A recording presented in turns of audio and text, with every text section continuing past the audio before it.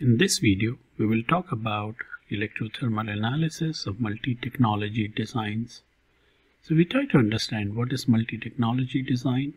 Well, whenever you have two or more different technologies assembled as a single uh, design piece which needs to be analyzed is what we call as multi-technology design. And there are a couple of examples demonstrated on this slide where you may have an IC along with laminate or package and this kind of assembly needs to be analyzed. Well, before we can start analyzing, the question is how do we assemble these kind of multi-technology designs in ADS? In ADS, we have a concept called Smart Mount, which makes the complex technology assembly job very easy. This capability is very simple to perform no matter how complex assembly you would like to create. It's very powerful, very versatile and very scalable so that designers have all the capabilities needed to work out some of these complex assembly. So we will talk about all of these uh, topics in this video. So stay tuned till the end and enjoy the learning. Alright, so let's get started. Here is my first test bench where I have a module example and this is um, you know configured to that so that we can run an S parameter analysis. If we look down the hierarchy, you will see an MMIC die subcircuit and a very simplistic laminate assembly which only contains few interconnecting wires which in layout will represented by the traces and few bond wires. Now if we look at the layout of this assembly, you get a better sense. So here you can see a pretty simplistic um, you know laminate design with four transmission lines and a die is mounted on top of that laminate if I go to 3D view in ADS layout, you can get a better sense of this entire assembly where you can see the six layer laminate, all the ground layers and the IC is mounted on top connected to laminate via these bond wires. Now, how do we go about configuring this kind of assembly? Well, let's look at the ADS main window here and I have quite a few libraries here. So the libraries of our interest are these two. We have an MMIC amplifier library and I have my laminate library. Now whenever you want to declare any library as a smart mount library or a cell as a smart mount cell, you can simply right click on the library or you can go to the layout and open the cell properties. So let me show you much easier way of going to library, technology and look at nested technology here in the smart mount setting, you can choose it to be either bottom mount or flip chip and then set rest of the options appropriately. If you selected a bottom mount, like in this case, we can simply use map layer and assign so that everything is nicely al aligned in the stack. But if we select a flip chip, I would typically prefer to put layer on top so that the flip chip IC is mounted on top of the laminate of the board where we might want to keep. More details about all these alignments can be found in ADS documentation. So let's go ahead and reverse it to bottom mount, map layer and assign.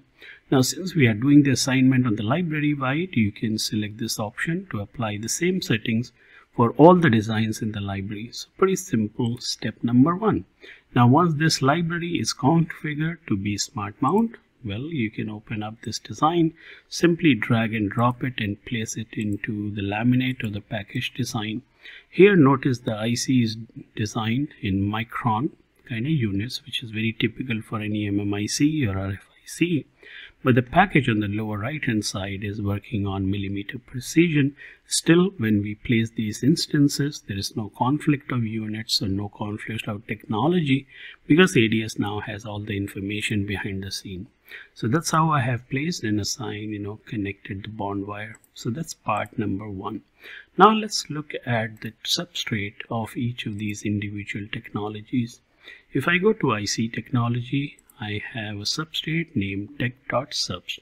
Now this substrate I have copied over from the MMIC PDK which has a demo thermal substrate. Now if you are using any Foundry PDK which is thermally enabled, you will have something similar. So I simply copied over this substrate into my working library and renamed it as tech.subst. because in multi-technology design when ADS builds up a composite stack up it simply refers to this name as the default tech.subs. So once we rename it, now when we perform EM simulation or electrothermal simulation, it knows where to get this stack up information from. So it's a pretty simple rule to remember. Now once we have everything set up, uh, we have already created our master assembly design uh, here and that design is used in this test bench as you can see.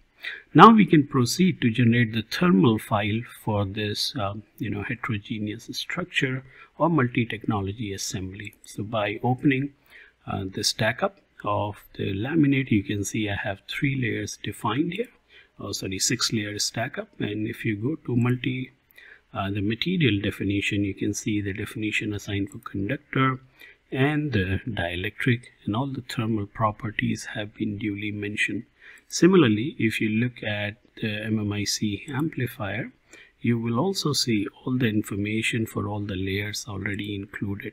Now this will be defined in the thermally enabled PDK, so you, you really don't need to dig out all this information because all this information is already available. For laminate, because it's your own specific technology, you might want to declare the thermal properties properly.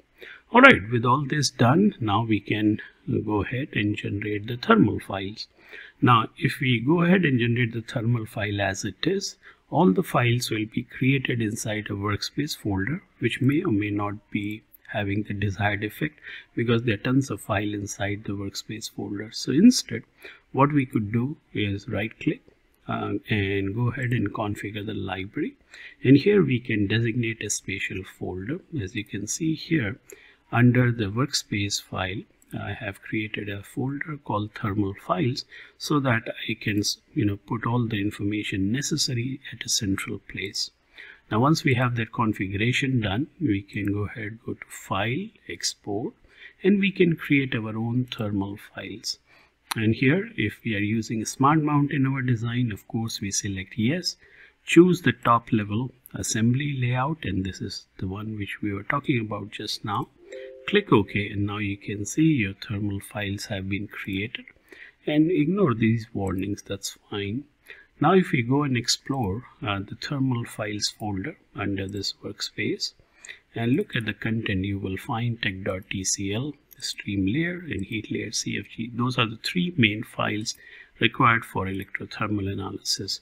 Opening the tech.tcl, you can see it has all the information about the layer properties, the thermal property of the, the laminate, as well as it has um, all the smart mount IC information which is basically an MMIC. If you have more than one IC uh, in your stack up you will have SM2, SM3 definitions and so on. So basically you have all the files necessary now to run electrothermal analysis.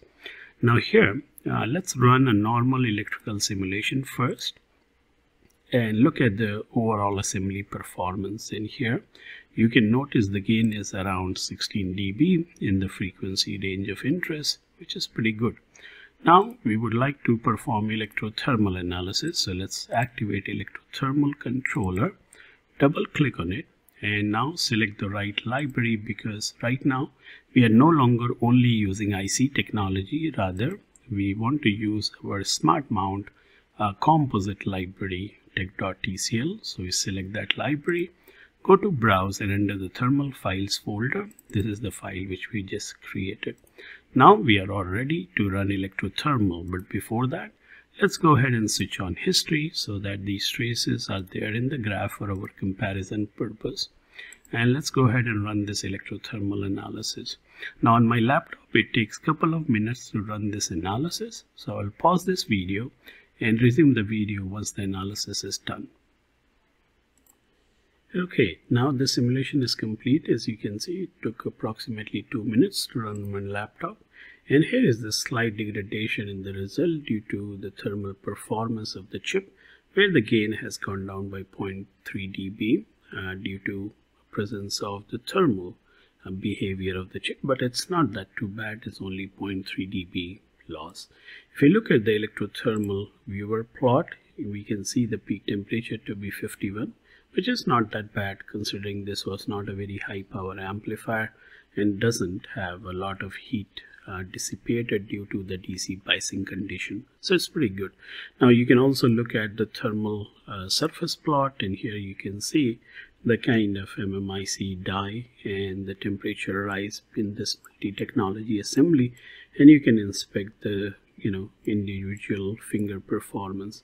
Now another interesting thing you can also do is push this slider uh, down to the top level of the laminate and here you can see the temperature is much lesser but as soon as you start going into IC you start to see the temperature building up similar information you can also get here by moving the slider to the top level in your laminate and here by simple right clicking you can see the temperature and how it cools down across various layers of the laminate.